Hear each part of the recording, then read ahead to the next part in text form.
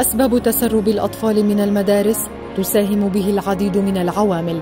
واحدة منها هي العمل في المستعمرات الإسرائيلية.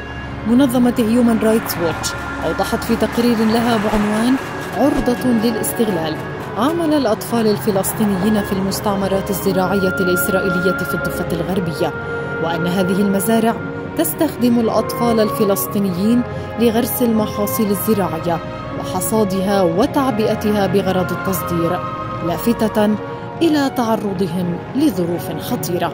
كما وأشار التقرير ووفقا لبيانات الأمم المتحدة إلى أن هناك نحو 24% من جميع العاملين الفلسطينيين من المنطقة جيم وفي وادي غور الأردن.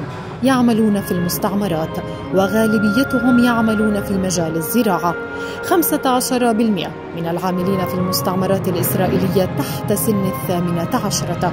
وأكثر من نصفهم تتراوح أعمارهم 16 عاما وأقل. في الوقت الذي يتم فيه مد المستوطنات الزراعية بالمياه العذبة يحرم الفلسطينيون من الحصول على كميات مياه كافية. كما أشارت المنظمة إلى معاناة الأطفال الصحية أثناء عملهم فبعضهم عانى من الغثيان والدوار والبعض الآخر فقد الوعي أثناء العمل.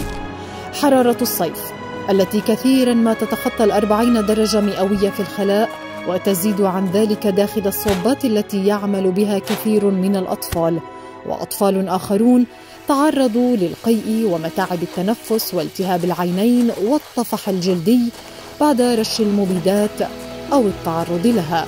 كما اشتكى البعض من آلام الظهر بعد حمل صناديق ثقيلة مملوءة بالمحاصيل أو حمل عبوات المبيدات على ظهورهم.